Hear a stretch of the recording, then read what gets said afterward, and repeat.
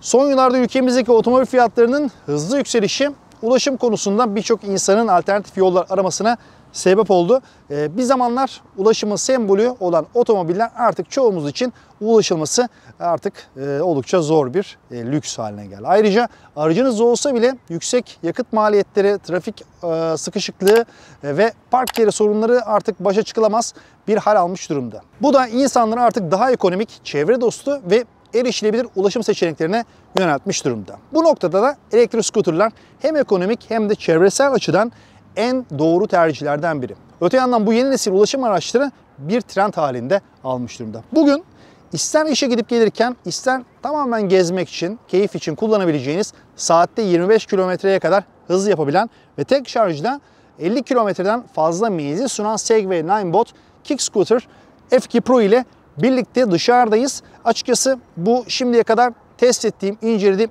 en eğlenceli ürünlerden, cihazlardan, araçlardan biri oldu. F2 Pro evden çıkıp dolaşmak istediğinizde veya trafik derdi olmadan sadece işi hızlı bir şekilde gidip gelmek istediğinizde gayet işlevsel ve keyifli bir çözüm. Eğer bizim gibi İstanbul'da yaşıyorsanız ve aracınız yoksa taksiye ne kadar çok para harcandığını bilirsiniz ki ihtiyacınız olan taksilerde zaten hiçbir zaman ortada olmaz. Olsa da almaz. En azından turist değilsiniz. Ancak Ninebot F2 Pro gibi elektrikli bir scooterınız varsa otomobil ihtiyacınız sadece kötü havalarla sınırlı kalıyor ve bütçenize de ekstradan fayda sağlıyor. F2 Pro'nun sürüşü çok eğlenceli. Bu beklediğim bir şeydi çünkü Segway elektrikli araçlar e, henüz ortada yokken bile bu sektörün içindeydi bu marka. Ayrıca etrafta gördüğünüz Martı gibi diğer firmaların scooterlarını da çoğunlukla bu firma Segway üretiyor. Şimdi F2 Pro çevrede gördüğünüz pek çok basit scooterla aynı kalibrede değil onu söylemek lazım. E, bu gerçek bir elektrikli araç. Zaten malzeme kalitesi ve 18 kilogramlık ağırlığı ile bunu belli ediyor. Lastikleri 10 inç büyüklüğünde ve patlama önleyici bir jöle tabaka ile doldurulmuş durumda. Bir çivinin üzerinden geçseniz bile e, patlamıyor net olarak söyleyebilirim. Yine de arazi kullanımı için e, üretilmediğinden sınırları fazla zorlamamak lazım. Gidon uzun ve geniş üzerinde hız ve seçtiğiniz performans modunu gösteren dahili bir ekran bulunuyor. Ancak yoğun güneş altında maalesef bu ekranın görünürlüğü oldukça düşüyor. Gidon üzerindeki sinyal ışıkları ise oldukça güçlü hatta çoğu araçtan daha iyi. En beğendiğim yanlarından biri bu oldu. Ayrıca üzerinde yoldan geçenleri uyarmak için küçük bir zil ve yüksek desibelli bir korna da bulunuyor.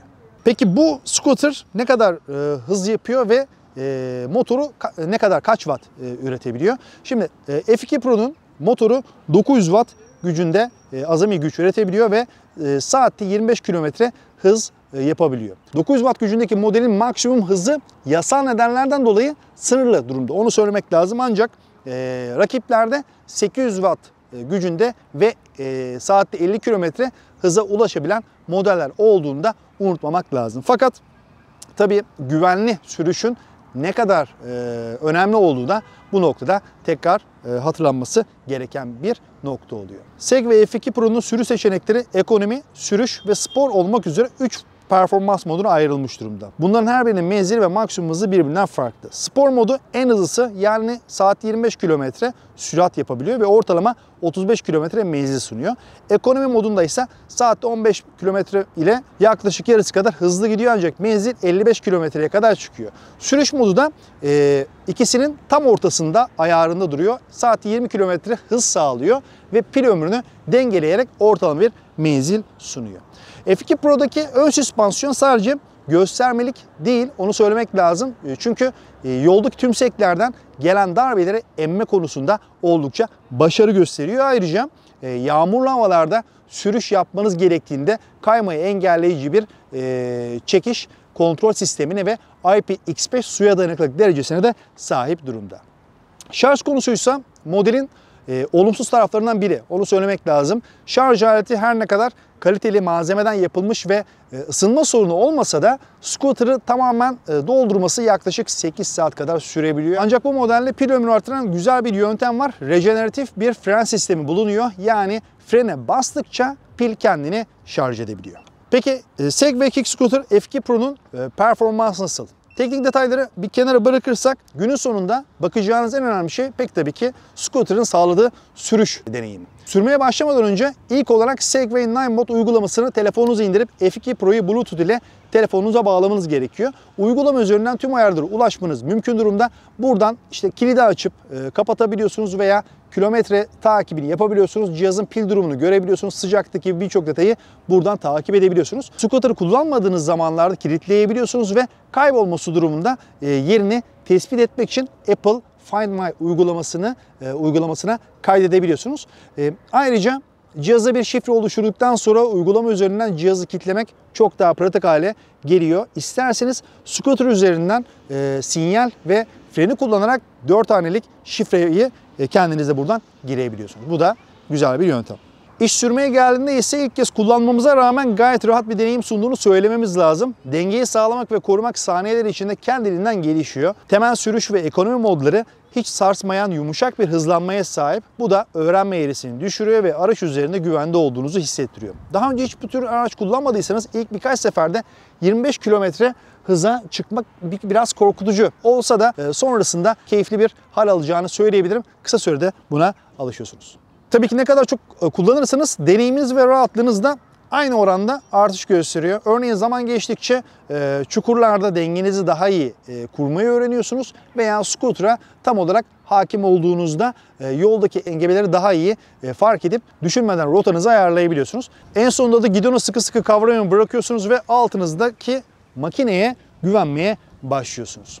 Bundan sonrası tamamen çocuk oyuncağı. Ninebot F2 Pro e, bizde uzun bir süre kaldı. 2 aya kadar olmuştur herhalde. Bu süre içinde kullanmaktan büyük keyif aldığımı söyleyebilirim. Bu tür e, araçla biraz haşır neşir olduktan sonra dışarı çıkmak ve uzun bir e, sürüş yapmak istiyorsanız gerçekten bunun için sebep aramaya başlıyorsunuz diyebilirim. İşte ATM'ye gitmeniz mi gerekiyor? En uzaktakine gitmeyi tercih ediyorsunuz. Alışverişe çıkacağınız zaman da yine durum aynı şekilde. Havalarda güzel olunca ee, neyse ki bu sene yaz uzun sürdü. Sürüş keyfi maksimum çıktı. Şimdi önümüz kış bakalım nasıl bir performans bizi bekliyor. Gerçekten F2 Pro'nun e, keyfi dışarı çıkmaya e, ve keşfetmeye sizi teşvik ediyor. Onu söyleyebilirim. İstanbul'da sokaklar e, gezmek, e, tabii ki sokaklar gezmek bu e, araçta her nokta için müsait olmasa da bazı yerler için oldukça keyifli olacağını söyleyebilirim. Bu arada yokuşlarda da hafif yokuşlarda da güvenli bir sürüş sunumunu da söylemek lazım. Elbette bunun için biraz aracı tanımanız ve e, kendinizi test etmeniz gerekiyor. Sonrasında zaten e, altınızdan akıp gidiyor. Ancak bunların yanı sıra F2 Pro e, Pro'da karşılaştığım en büyük sorun biraz ağır olması oldu. Yani onu sürekli evinize çıkarmak sorun oluyor. Onu söylemek lazım. Bu nedenle kapıya kilitlemeniz lazım. Sağlam gövdesi, büyük bataryası ve güçlü motoruyla bu ağırlığı e, tabii ki normal karşılanabilir ancak e, kesinlikle göz önünde bulundurulması gereken bir konu. Evet toparlamak gerekirse Ninebot Kick Scooter F2 Pro hayatı kolaylaştırmasının yanı sıra eğlenceli bir deneyim vaat ediyor. E, belki bununla herkes e, gibi dışarı çıkıp gezmeyi tercih etmeyebilirsiniz ama en azından toplu taşımaya her gün para vermek e, zorunda kalmayabilirsiniz veya toplu taşıma araçları e, araçlar arasında daha esnek bir yolculuk yapma imkanı da elde edebilirsiniz. Elbette e, senaryolar muhtelif. E, peki fiyatı ne kadar bu aracın? Bu aracın güncel fiyatı en son baktığımda 19.499 lira şeklindeydi. Bütçesi uygun olanlar için tavsiye edebileceğim, edebileceğim bir model. E, başlangıç seviyesi için kaliteli bir scooter aracınız varsa mutlaka göz atmanızı öneriyorum bu cihazı. Evet bir incelemenin daha sonuna geldik. E, sizin de tabii ki e, sorularınız varsa yorumlarınızda, yorumlarda bekliyorum. Siz de elektrik skuterlar hakkında düşüncelerinizi bizimle paylaşabilirsiniz. İzlediğiniz için çok teşekkürler. Gelecek videoda görüşmek üzere. Hoşçakalın.